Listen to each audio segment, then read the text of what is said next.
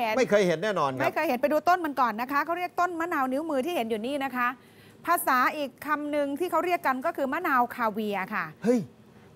แล้วดูเอ้ยดูดูดูมะนาไอ้วไม้กอดไมกอดคืออะไรคะไอ้เกิดมาจากท้องพ่อท้องแม่ก็ไม่เคยเห็นมะนาวลูกปกติเรียวๆอย่างนี้มันต้องกลมๆใช่ไหมมะนาวมันต้องลูกกลมๆอันนี้มะนาวมันลูกเรียวๆเหมือนเหมือนอะไรรู้ไหมเหมือนนุ่นอะ เหมือนเหมือนลูกลูกนิ้นิ้ววอะอ๋อ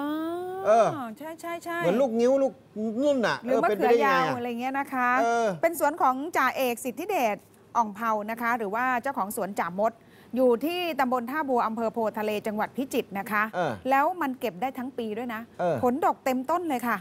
เป็นมะนาวคาเวียร์ในตระกูลเดียวกันกับส้มมะนาวแล้วก็เกรปฟรุตเฮ้นะยคะนี่นี่นี่นี่คุณรัชนี อันนี้พอแกะออกมามันจะแกะออกมาเป็มันจะเป็นเหมือนคาเวียร์ไหมเหมือนไข่คาเวียร์นั่นแหละเขาถึงเรียกเออว่ามะนาวคาเวียร์ไงคะ หรือเหมือนกับไอ้นี่อ่าส้มโออะส้มโออะ อ๋อคล้ายๆแต่ไหมว่ามันจะไม่มันจะสั้นกว่าส้มโอเออ หมายถึงว่าเซลล์ของเนื้อเขาอะนะคะ ครับ จริง ๆ มาจากออสเตรเลียนะคะรสเปรี้ยวกลิ่นหอม เออเขาเอาไปปรุงแต่งอาหารค่ะมีหลายคุณกำพูสีด้วย เนี่พอผ่าออกมาก็เออสีมันสวย โอ้ มีแดงมีเขียวเออมีชมพูสีนะตามรูปเขาตามรูปผิวเขาเลยนะ ใช่ค่ะ เออ เออ ก็น่าสนใจนะคะ ครับ น่าสนใจไปกว่านั้นก็คือราคามันแพงแพงเอาเหรอโลละ 2,500อุ้ยแพงไหมก็มันเป็นของใหม่ไม่เคยเห็นน่ะอะแล้วผมว่าเพิ่งจะมีคนปลูกละมั้งเนี่ย ใช่ค่ะ แต่ใช่ไหมถ้าถ้าอยากได้กิ่งพันธุ์เดี๋ยวรอฟังนะคะ เพราะว่าเขาบอกว่า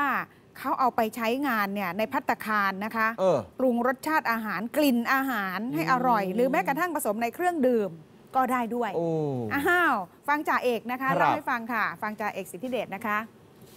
ที่ใส่วงบ่อ เพราะว่า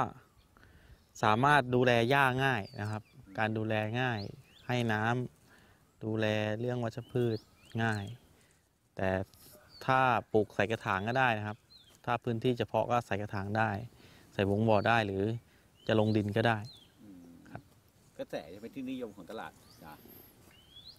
ยังมีความต้องการอยู่เรื่อยๆนะครับ ต้องบอกว่ายังมีความต้องการอยู่เรื่อยๆ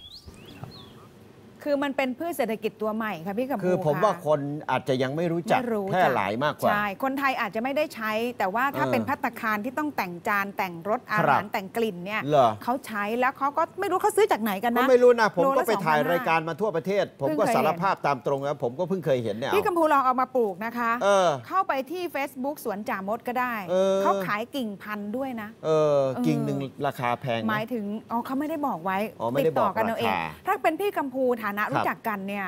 ก็อาจจะแพงผมว่าเป็นกิ่พิงเศหมื่ษนนะไม่ได้กิ่งพันละมั้งเนี่ยกิ่งแต่ไม่รู้นะลองกิ่งโทพัรนธุ์ไปสอบถามแกดูอาจจะไม่เอออาจจะไม่แพงก็ได้นะครับท่านผู้ชมอยากครับชิมเหมือนกันเนาะว่าเออรสชาติจะเปรี้ยวเอสู้อมะรนาสวชาติธรรมดน่าสนใจแหละอืมเพราะว่าเราไม่เคยเห็นมันเป็นสิ่งใหม่สำหรับเราเนาะใช่ค่ะเอาละครับ